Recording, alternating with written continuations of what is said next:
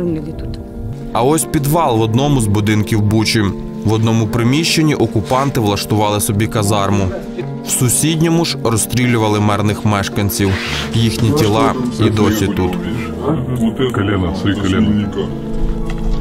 Это Смельников. Сначала колено прострелил, Видишь, что с коленом?